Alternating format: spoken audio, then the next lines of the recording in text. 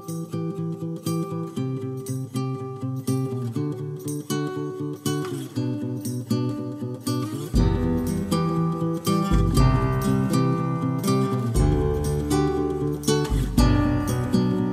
Maximus, you know what we just got? What did you just get? A really good shot. Tell me light. Yeah, it's an artist conch. We're going on a mushroom walk.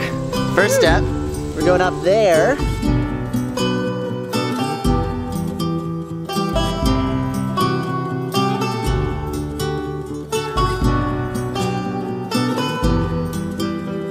We can walk through the woods this way until we reach the creek where the good mushrooms typically are. Wait,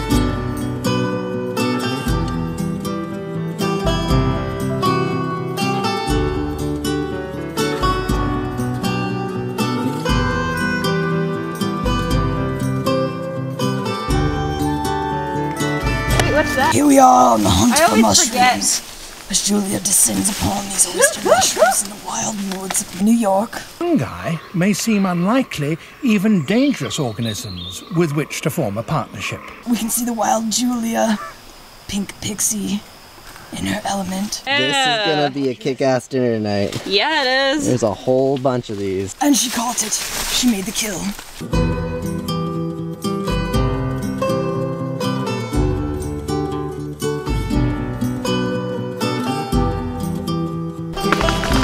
Whoa!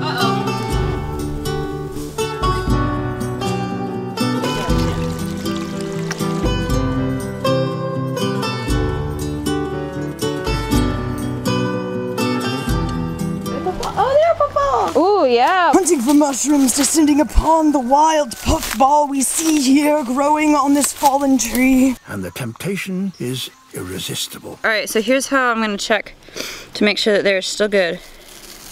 Break them open, all white on the inside.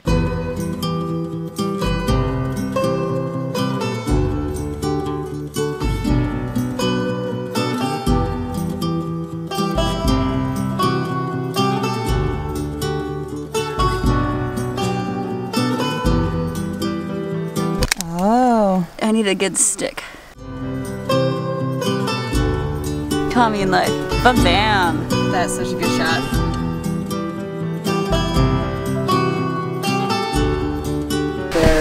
Puffballs! Yeah, puffballs just all over that tree. Oh wow, that is a lot of puffballs.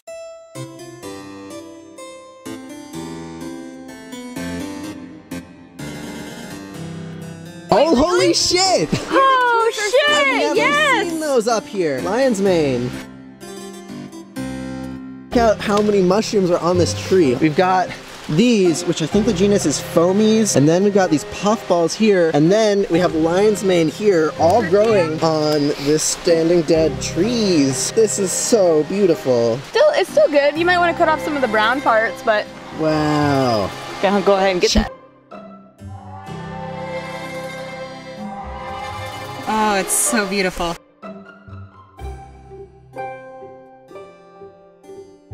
Okay. These ones are growing out of this mushroom.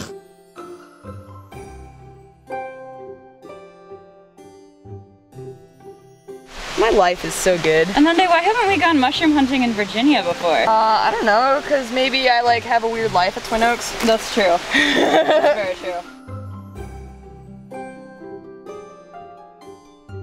Oh, at Eastwind there was a relationship I had with a woman who had a kid, and me and this kid would go out into the woods all the time, usually for goat herding. We also went mushroom hunting while we would herd goats. And this kid's favorite mushrooms were puffballs. There's a special place in my heart for puffballs.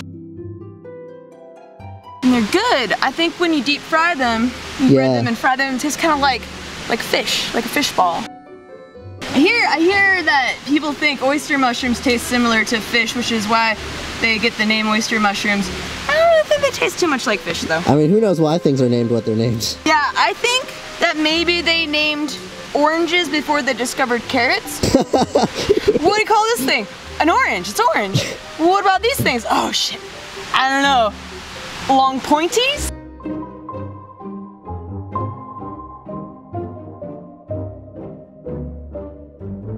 Something I noticed about logs that grow puffballs is they will keep producing puffballs for a very long time. I had a regular puffball log that it kept fruiting for like two and a half years. If there are puffballs here right now, there will be puffballs here later. Wow. Yeah, most likely anyway. Oh, the distant sounds of mushroom joy. Oh my god, it's so beautiful! Those do look like chanterelles. Yes, they do. You said you hadn't seen any here before. So this one is our nice hygrophoroides, Lactarius hygrophoroides. I'm so happy! Mushrooms!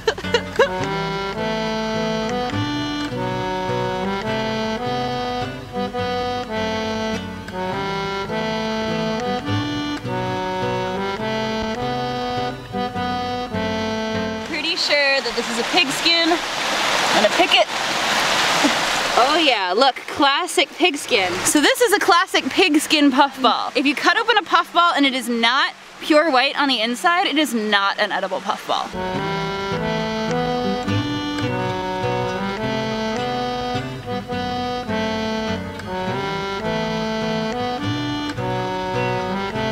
I love mushrooms so much you don't understand. The mycelium's gotten into your brain. Oh yeah, I inhaled too many spores. After a long afternoon of tromping through the woods, the wild Julia She'll need to be careful.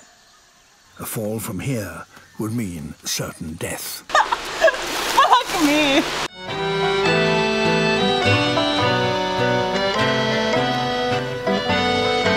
Chickens like puffballs? Do they?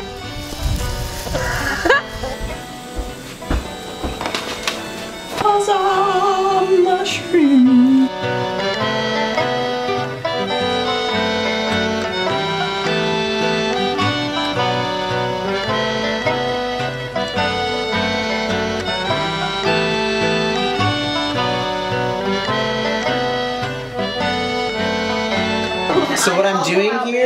I just put out a bunch of cast irons, and we're gonna cook the different species of mushroom in different cast iron.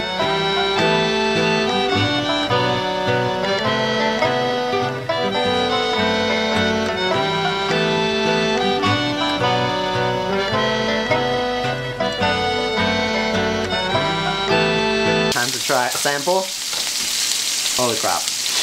Isn't it? That's so fucking good. I'm really, really.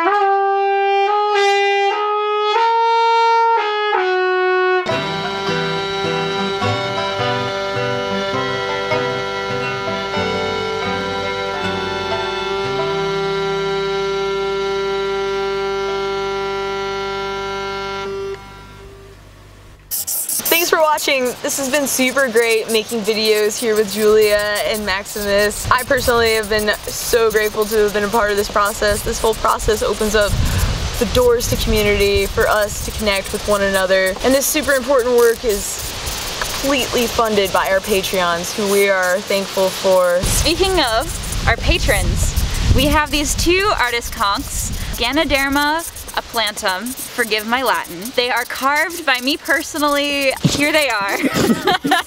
These are limited edition and they're available to our next two patrons. If you sign up to support us on Patreon in hopefully like today, Like five minutes from now. there's a good chance that you will get one of these two artist conchs. They're super cool, have a commune life memento forever. Check us out.